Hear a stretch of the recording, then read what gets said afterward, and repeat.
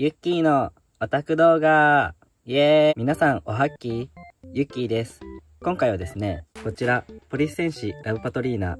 第1オープニングテーマ、大事なもの、竹下通り2020公式イメージソング、絆プラス、ソニーミュージックショップオリジナル特典、直筆サイン当たり付き、ランダムチェキ特典2枚開封したいと思います。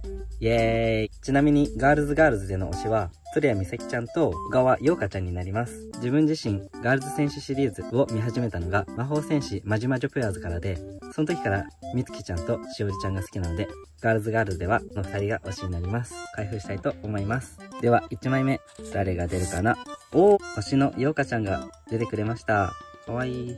次に2枚目、誰が出るかなおー、2枚目は石井蘭ちゃんが出てくれました。ファントミ的に、ありどちらもサイン付きじゃないんですけど、ガールズ選手的にありだと思いました。以上、ユッキーのオタク動画でした。おつおつおつか、おつカード。